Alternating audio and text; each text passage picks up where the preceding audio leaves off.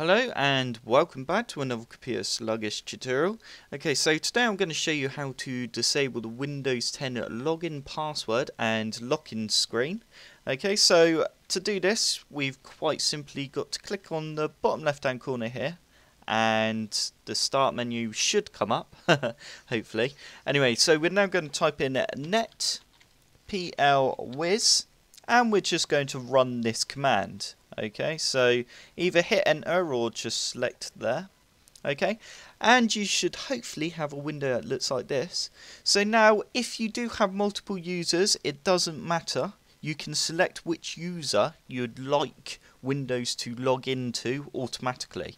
So, for instance, I want my computer sluggish account to log on automatically on Windows. So I'm going to select computer sluggish and now I need to deselect users must enter a username and password to use this computer.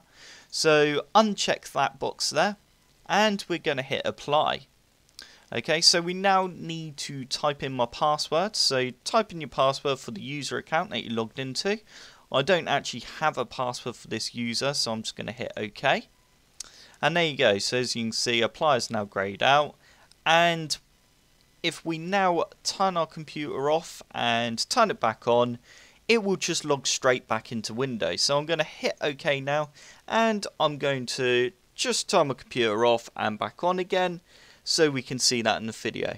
So I hope this little tutorial helped. If it did, hit that like button below and subscribe for more computer sluggish tutorials.